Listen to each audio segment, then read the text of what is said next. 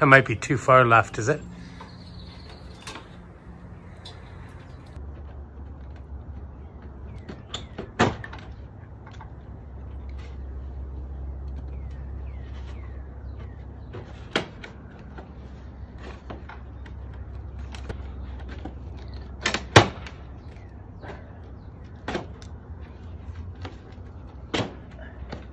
Now twice?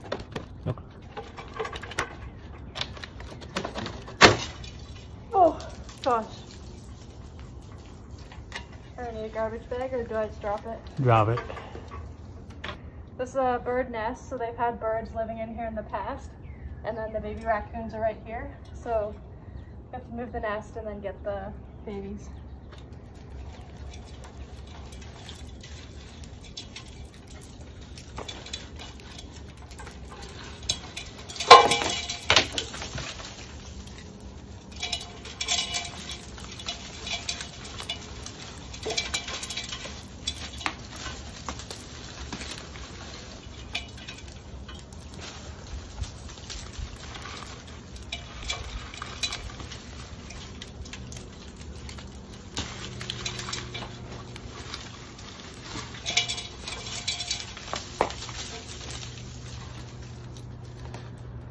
Oh, they're they're in the nest space.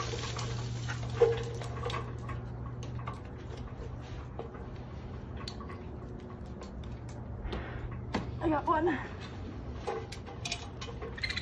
One. The mom's already out, so we don't really have to rush grabbing them in there.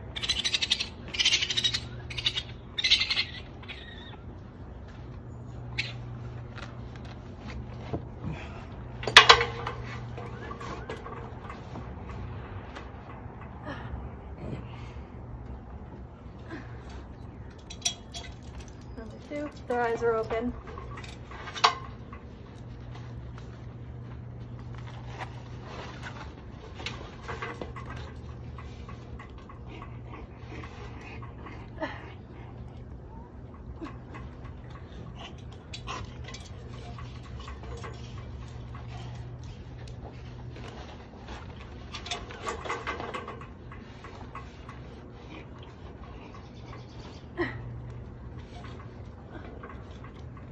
Number four.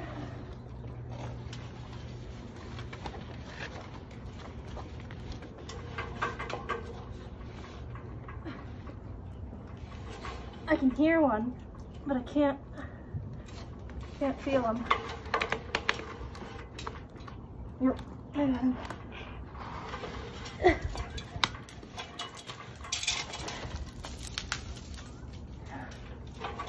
Got insulation in his mouth. Come down with one if that's one of your last one. I can hear another.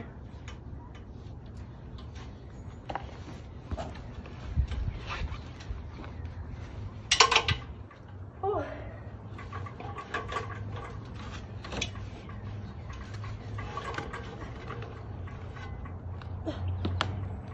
He's so far.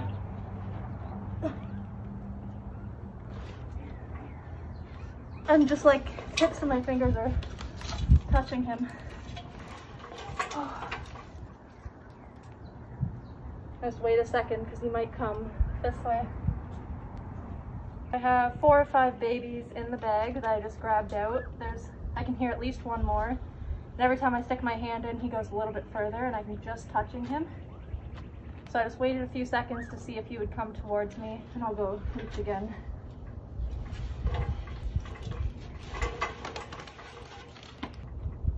I got him. Okay.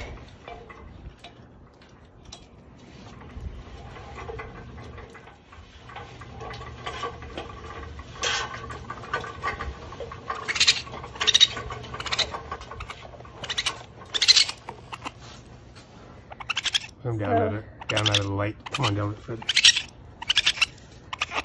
So they were in an area in the attic that we couldn't get to, so that's why we had to go through the soffit. There was just no way of reaching that from inside the attic. And since it's Marley tile, the tiles are just too hard to move. So we got them that way.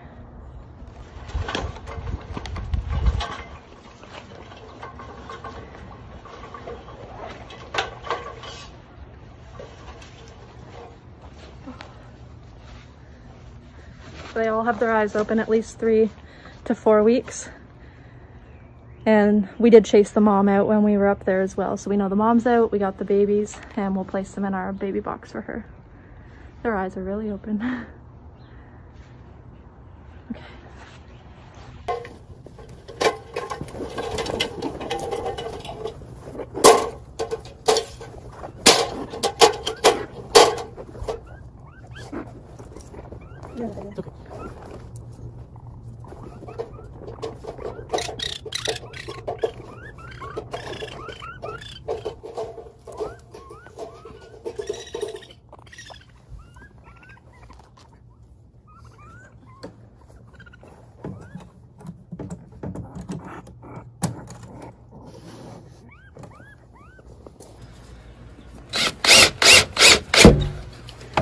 So we put the box attached to the fence because as, you saw in the video, she is using this downspout to come down to the ground. So when she goes back up to the roof, she'll be on this downspout. She'll come right on top of the box and she'll be able to open and get her babies. We've done this once, one other time this year and it worked well. So we just attached it four, four spots on the fence and she'll get them right there.